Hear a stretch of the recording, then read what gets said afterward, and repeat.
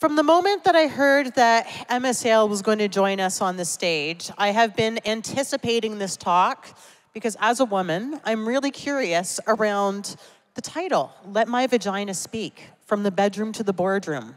But beyond that, I'm really curious about her as a human being because she's a mother, she's an entrepreneur who started many businesses, but also she's started an organization and a platform for women to understand their femininity in a way that I can't even yet comprehend.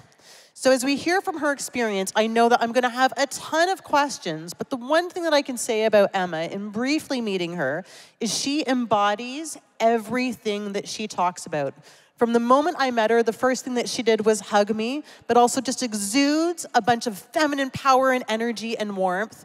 And I am really excited to welcome Emma to the stage. Emma, please come join us. Listen to me now. Uh, I'm hugging again. I'm a hugger. Uh, what, do I, what do I need that for? Listen, listen to not me now. I'm not doing any slides, and the last time I got given one of those tickers in a talk, I kept thinking it was a microphone. So I kept holding it up until someone said, That's not the microphone, that's the ticker. So if she puts that in my hand now, it's going to get really confusing. So it's much easier. Um, yeah, I'm a hugger. I'm British and a hugger, which makes me a really rare breed, according to Meghan Markle. Um, so, um, also, hadn't realized I was going to be on the really, really big stage. Um, and walked in this morning to try and find the personal growth stage. Walked through this one, went, it's not going to be that one. Carried on walking, asked where it was, and got pointed back here. And I think my reaction to that is pretty much one that a lot of women and a lot of girls have, and actually will bring me on to the start of my whole journey with killing kittens. It's that reaction of, why the fuck am I on the big stage with all the experts who know that what they're talking about? Why would I be on there? Why would anyone have any interest in listening to me who doesn't have many qualifications? I've got a degree in sports science. That does a lot for sex. Um, and, and then I put on my big girl pants, slapped myself around a bit, and went, I'm going to get on that stage. I don't care if anyone likes me. I'm not going to put my big girl heels on. I'm going to keep my flip flops on. And I'm going to flip flop around the stage talking about my story. And I think, thank you. And I think that part of that is at what point do we. I've got a four year old and a six year old girl. I've got a boy as well. Who, and the four year old and six year old couldn't be more confident and feisty. And I look at them sometimes and I think, at what point do we, as girls, lose that confidence and the feistiness? And they are way more feisty than my son. At what point does, do we start listening to the world and that world saying, you've got to be this, you've got to be that, be a good girl, keep your legs crossed, you can't do that, only boys can do that. And I think, so the beginning of my story, it wasn't a light bulb moment, age 26, that suddenly I woke up one morning and went, do you know what I'm going to do? Organize orgies. That's it. That's the light bulb moment. It wasn't that. It was a feisty little tiny girl who grew up with a pretty shitty dad, um, military, moving all over the world, um, and just watching and questioning everything, and wanting to be a boy, and having all my hair cut off, wanting to do loads of sport, um, climbing trees. And every time someone said, You can't do that, you're a girl, that's what boys do, I'd go, Watch me. I started playing the trombone when I was eight because no one else in the school played it, but apparently it was a boy's instrument. I didn't want to play it, I just played it. I can still play it, I'm really good at it. Uh, um, that's probably more you know, helpful in the sex world than sports science degree, to be honest. Um, so anyway, so I grew up in the Middle East. I went to an all-girls boarding school at the same time. So I had these mixed messages of one minute in the Middle East, watching the wives walk, walk behind their husbands, all covered up, and you know, know your place, and also being at home, which was very much mum had to know her place, and dad was very emotionally abusive and had a real temper on him. Seeing that, but then being at an all girls boarding school between the age of 8 and 18, where I was told, well, A, that all, I believed all boys were over six foot, so that was a huge disappointment when I came out at 18. But believing that I could, the world was equal and I could be whatever I wanted to be and I could go into whatever job I wanted. And so you didn't, I didn't get that message at school that there was any difference between boys and girls. I then came out into the real world um, and the dating world, and my so the hormones kick in. So you start noticing boys. You start noticing actually, rather than well, if they're climbing trees, I want to climb trees. And you know, if they're playing the trombone, I want to play the trombone. It became, hang on a minute, they can snog who the hell they want. They can do what they want. They can brag about it to their mates. They can have one night stands. But God forbid you as a girl, you know, snog loads of boys in one night or even snogged girls. You know what I mean? Back then, you know, this is I'm 45, so it's the world's got a little bit better since then. But it was. I remember being at university, and if you got naked one night with a boy, you know, you did everything but, because if you had sex, you were a slut. So you could give as many blowjobs as you wanted, but you couldn't have sex. And looking at that, looking back at that, you think that's crazy. How how does that mindset get in our heads, that shame and that guilt of you can literally get naked, let a guy touch any bit of you, do anything to you, have any bit of their anatomy, you know, in your mouth, but in a vagina, that's it, you're slut shamed, you're dead to any man out there, you're not girlfriend material. And that was a bit, I was out early 20s, and the amount of guys, friends of mine, would be talking about a girl I've met an amazing girl, but she's not girlfriend material. I'd be like, well, why is she not girlfriend material? Well, she just slept with loads of boys. And I'd sit there and go, and you slept with loads of girls, so are you not boyfriend material? So it kind of, there was this fire in my belly that had just kept raging and raging and raging. And I went into my first job working in the city, all like gung ho, thinking this is it, equal world, going into work in the city. Week one, boss tried it on with me. Moved me around to sit next to him, hand on thigh, everything, and it kept going and going. And I, I complained gently, I was only like 21 to start with, then made a formal complaint to HR, and basically got told I'd be a troublemaker. Did I want to do a proper official complaint? Because word travels fast in the city, and I wouldn't be very employable. Or did I just want to leave quietly? So I stupidly little insecure 22 year old left quietly. Um, and then I sort of carried on in entertainment PR. Again, really disheartened because every, you know, just trying to be equal, trying to be in a world and going, well, I can do it. If they can do it, I can do it. And I found myself doing, helping do the PR for the Erotica show, which was this big sort of sex trade exhibition um, in London, which had everything from lingerie, porn, sex toy companies, anything to do with the adult world was in there. And I met some weird and crazy, wonderful people. But again, that fire in my belly was like, hang on a minute, that's the lingerie brand. It's designed by men, it's owned by a man. That's a sex toy company. Those are vibrators. They're designed by an all male team is owned by men. So as you can see, that fire is really getting me pissed off now. So it kept, so then just doing all that, and at the same time, I was out and about in London with quite a crazy group that a lot of Brits know of women. The women are very well known, they're in their 50s now. And what I saw them get up to in parties, and they just slept with anyone and everyone. And they just owned it. And they were the most amazing creatures I've ever seen in my life. And I was just watching and thinking, this whole, this whole world, everything from going out to bars and clubs and being on edge, walking across the dance floor because I'd get hands up my skirts and having to walk home with my key in my, in a, a lot of you girls in the audience have probably done this, where you walk home with your door key lodged in like that, and it has to have the spiky bit upwards so that if a guy comes near you, you go, and that's it, spiky bit across the face. How many men in there know a lot of girls do that in here? Probably there's lots of men that don't realize we do that. So they, I don't do it so much now. As I said, I'm 45 and there's not many people that would jump me in an alleyway. So, um, although they would, wearing heels and, you know, a short skirt, I've got good legs. Um, so anyway, we, it just had that, and we went to this wedding in Ibiza, um, and there was 40 of us, and it was all the crazy lot, the London lot, and the things they got up to in this wedding, and we hadn't slept for about three days, and we just all sat around, and somebody couldn't make the wedding, phoned in and said, what are you all doing? You just sat around killing kittens at the moment. We were like, well, what's that?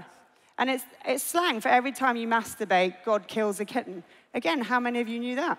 Not many. There aren't many people who ever ask me why a business is called Killing Kittens, which I find disturbing, to be honest. Um, and so it's slang. So she just said, you know, sort of meant that you guys just all, you all just sat around sort of playing with each other. And I went, that's it. Loved the name. I went, I want to create a space and a world online and offline, where that flips society on its norm when it comes to sexuality. With women in control, they make the first move. They're the ones in control. They're the ones who's empowered. They can explore their sexuality without any shame, any judgment. They can ask questions. They can find like-minded individuals. Because also at the time, you, as a girl, even your closest group of girlfriends, a lot of people wouldn't, a lot of girls wouldn't be honest with what they were really thinking. And, and actually, scientifically, girls are bi-curious. Most of you might not have known that either. Like scientifically, as animals, women fall on the sexuality scale three, four, five, scale of one to seven. We are, that's why we're more touchy-feely. I mean, I hugged, you know, Sam, never met her before in my life. I've hugged her twice now. You know, we, it's how we are. We check out girls faster than men check out girls. I have this competition with my husband. So, you know, any girl that gets shitty with their, you know, their other half checking out girls walking past them. You've checked them out quicker than they have, love. So let's be honest with yourself. So launched, uh, well, what started as an event company with underground parties with a small online base and a small all online community to start with back in 2005. And it's just, it grew and grew and it's grown and it's grown. And the online side sort of took over. And in 2015, sort of looked at the business, and there was four of us very offline, we like people and hugging people, going, hang on a minute, half, over half our revenue is actually coming from the online digital side. So at that time, 2015, you know, Me Too was coming in after that, Trump came in, there was this reignited sort of fire in the belly of sort of world females. Um, and I just went, this is it. This, if we don't get investment on board now, if I don't get someone who really knows what they're doing on the digital front, to launch in and take this and run with it, then some Silicon Valley upstart with millions in the bank is going to come flying over the top of me and launch a platform claiming to own female sexuality. So, because that's what's happened in every other industry. And so that's what we did. So I got, and that was hard, and that is, that's a big lesson I've learned on the way is when to let go, when to, when it's your baby, when you've launched something, and to realize you're not good at everything. I am shit at so much stuff. And the minute I realized that and accepted that, and you start bringing in people and the team members, and we have a whole online tech team, and I have nothing to do with them. I sit there bored sometimes, and especially in COVID, you know, there was, I've just, I, I said I'm gonna have to bench myself. And being a sports nut, I often use, I'm big on sports psychology, I often think in very sports psychology terms of you're playing a whole team and you need so many different individuals. And if you look at a football team, you know, a goalkeeper is not the same size or shape as a striker. They're very different. They play in very different capacities. And I think that was another lesson is, is, is, is basically the team of people. I call it a very eclectic you know, dysfunctional family. It's completely, everyone's completely different, but they all play in different spaces. And I totally benched myself because we had 18 months of all, all digital. Um, and then we've built, we've raised over, we raised over 200, 2 million pounds in the last three years um, and built this whole new all singing, dancing, social dating sex positive platform that incorporates sex education, community, chat groups, um, you name it. It's all in there. And that, again, was very hard last year, having had the name Killing Kittens for 17 years. And that, I call it like the teenage child, that was my baby, is making the decision last summer to split the business, to rebrand as two separate companies and move the entire online digital world into another another company which we launched in April called WeRx. And that's been really difficult because when your whole identity in life is wrapped up in, in a brand and a name, um, suddenly moving. And we've done it because the world is very different. It's not, Killing Kittens is very female. It's very, well, it's female centric. It's female at the core. It's female driving it. And, you know, stats came out this week, a big UN report saying that actually equality has gone down in the last decade. That whole, you know, we're doing way better, it hasn't. The stats are horrific. I was reading them this morning on that front. So, but then the online side, we're living in a thousand shades of gender and sexuality, and, and so we wanted an all inclusive platform. So that's, that's basically the business side um, in a nutshell. And it's very hard when you get told you've got 20 minutes to, put that, to put 18 years with so many different lessons um, in the 18 years into, into 20 minutes.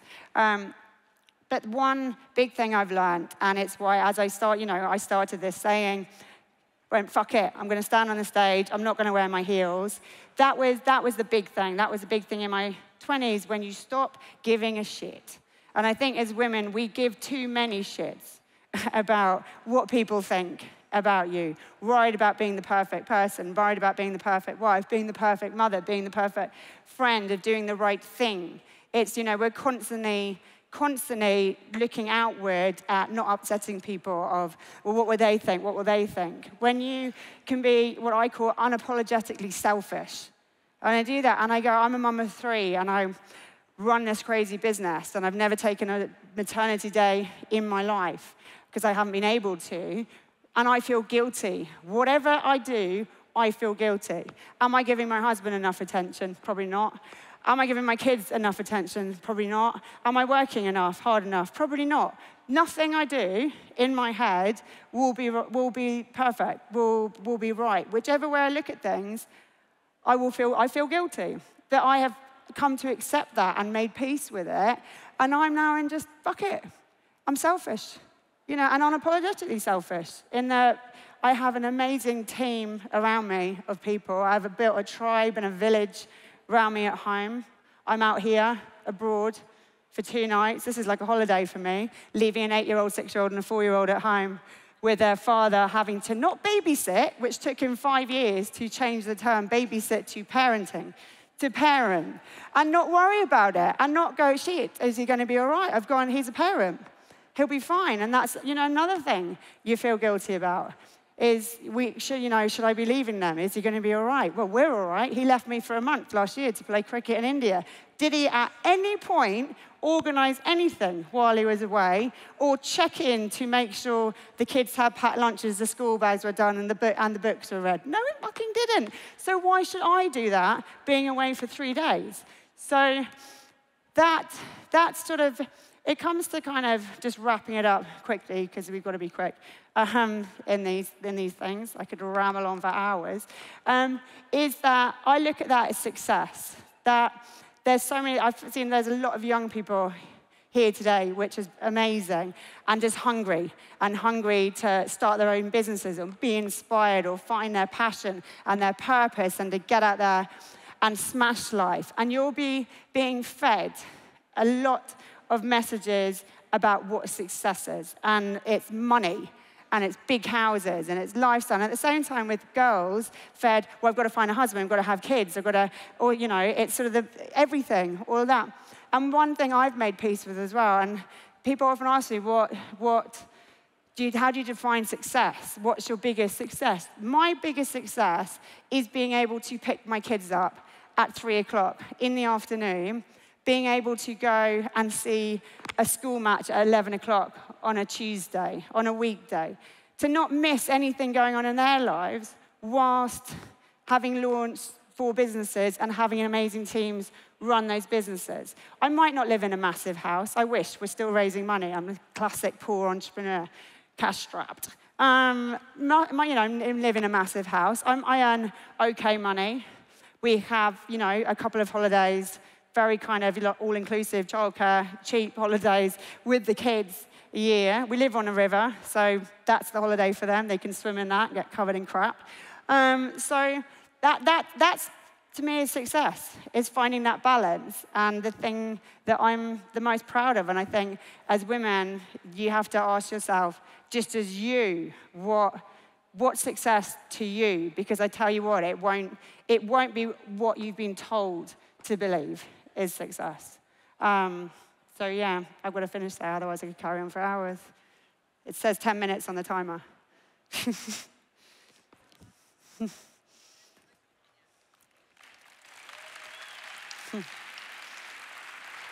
It'd be nice. Oh, there we go. I was going to say if you'd like another minute or two to add. Um, but what I was going to say to you is I want to challenge you on something. Okay. Um, because you said that you've always been challenging, and you've had this heat and this fire in you, which I can totally feel. And at least what I take away from what you've said is you're not selfish. You just take who you are and you own it. And I really appreciate that because for me as a woman, that's inspirational around all those things that we define ourselves around what we should be, but maybe we don't have to be. Yeah. So thank you for sharing that with That's us. And I'm sure there's probably a ton of questions, and we already have one. So over to you. Yes, hello. Uh, great speech. Thank you. My question to you as an expert is what do you think of modern platforms like OnlyFans, for example? Do you think this is like benefiting the over sexualizing women to like weakening their power, or is it like a powerful tool to benefit with the sexuality? Um, personally, and I think this is where we're in a really we're in a really muddled world when it comes to feminism and what is a feminist. And you get I see a lot of women bashing OnlyFans, they bash strippers, they bash high-end prostitutes. Uh, and to me, to me, being a feminist is having that freedom and choice to be completely in control with your choices and what you do and what you do for a living. And, and lot, I know some OnlyFans girls, and they are bossing it, owning it. I think with any kind of tech platform, you're going to have the really wrong end of it. You've got the, you know, there is trafficking. You've got that, but you've got that on all sites. I mean, look what's just happened with Instagram. Massive pedophile, pedophile ring smashed using, I can't remember what it is. I can't, can you remember? I can't remember. They, they were doing something very simple um, and to get past, get past it using Instagram. They've had the same thing in like Facebook chat groups, you know. So it, I think, where there, where there's a will, there's a way. Um, and but OnlyFans as a whole, if that gives them independent financial independence, then they're totally in control and they're owning it, and they're safe behind screens. They're, you know, giving footage that people pay for. Um, so be it, as far as I'm concerned. That that um, I'm I'm all for it, really. All right, thank you so much. We've got a question over here and then over there. That was great. Um, thank you so Where's much. the question? Oh, Oh, sorry. Was where are you? Oh, yeah. Um, I re- resonated a lot with your story and always thought as a mom that I would picture having two girls and I would raise them to be a person like yourself. And then I got two boys. then you met me. And I'm wondering, because you said you have a son too, I feel like as a empowered female, female identifying person, I know what I would know I know how to raise that person. But I'm curious what your perspective is on how we raise boys to create the world that we're talking about for women and what's that? And I think, and do you know what? I actually worry about, I worry about my son more than I worry about the girls. And because he, the, his confidence and shyness, and he needs a lot more hand holding. And, but what I do, what I do with him, and I say it straight, is, is that consent and the boundaries and the respect. And also, you know, you might, people might get a bit queasy in here. Like he walked in last year and I was changing a tampon. And rather than, he was like, what's that? We had a conversation. And it wasn't very ad- adult. It was like, oh, girls, bigger girls, you know, once a month, it helps with babies and, and actually your body. And she, he went, well, Lily and MJ bleed every month when they're like bigger. And I said, yeah, they will. But and he was like, oh, okay, just walked out the bathroom. It's that that I try and just normalize so that I want him to be that boy that doesn't stand there and laugh if a classmate is, you know, you can see they've bled in their pants type thing, or, or tell boys that they're being out of order and you can't treat, treat girls um, like that. So, and it, you know, I, one of my great proud moment last month, they've just started doing body parts. And um, they were doing their, these are breasts, this is a penis, this is, and apparently the teacher told me that all the boys started laughing when she said breasts. And he turned around and went, it's just a body part. Because all, I'm just wandering around naked, and whenever he laughs, I'm like, they're just boobs, Raf. It's like your elbow, your kneecap, your boobs. It's a body part. So to hear that actually he had told his other eight, eight-year-old boys in his class to shut up, it's just a body part. It's, it's that, that, you know what I mean? I'm not going to be perfect, but it's sort of just normalizing and making him realize that, and the girls are really sporty and do loads of sport too, so he's already kind of going, well, girls can do football. So it's that kind of bit that I try and do. I want to ask you a question before we move to the individual over there, and then we've got a question there just around, um, I'm going to say, having more conversations and putting sexuality on the table. Because there's a room full of people here who obviously wanted to hear about how, like sexuality and how do you bring that to the forefront. You've got an online platform, but I find it's still not something we really talk about, especially as women. So, any suggestions or tips on how we can do that and how we can bring it more to the forefront of our everyday Well, conversations? Yeah, a big and one reason why we have split the business and made the online platform all inclusive is because I just really, I, our main thing is to normalize sex, normalize the conversations, normalize, because I'm like, your sexuality, we're animals, and our sexuality drives us more than anything else, more than religion, more than politics, more just more than anything, it's the core of who we are as animals. And I think the suppression of it has, has basically caused all the world's fuck ups. Um, so it's sort of if you can really look into your core and learn what really makes you tick, and what you know as a couple as well makes you know have real open conversations, and and as individuals you know have especially and you know as girls as guys of like are we really straight or are we bi or you know actually be really open and honest with yourselves. Then I just think you, it brings out the better person. It being, if, you're, if you have the confidence in the bedroom, you're going to have it in the boardroom. And until you're really your true sexual being, how can you be your real true self everywhere Love else? that. Be authentic in your sex life as Yeah. well. Over to you. Me? Okay. Um, I already got a lot of answers on, um, on my question with what you said before. What I wanted to ask, um, I did some research on how sex education for the kids in our society could have, uh, should be done in order to make it right. And there was like a phrase, um, the smaller the kid is, the shorter the, the answer should be on the questions it has on sex, for example. From a practical point of view, to empower, uh, empower um, our girls, for example, focusing on the girls, what um, tips do you have, like regarding Um, sexual education? Um, we'll, my, I mean, for one thing, my four-year-old says vagina on point now. She yelled at the other day. They were playing like chase, and you had to. You can only get caught if you touch. She's like, no, you didn't get me. You've got to get me from my neck to my vagina. She yelled across the playground, and I was there going, okay, am I going to be judged as a mum? But part of that is, and again, there's studies on that, is actually a lot of sexual abuse doesn't get picked up, or because if a child can't name the body part, or it's like they've touched my bum, or where, you know what I mean? It's like if they can just they can pinpoint and you know properly that it's so it's and as I said, they're body parts. So I think I'm all into like short answers and very age appropriate answers.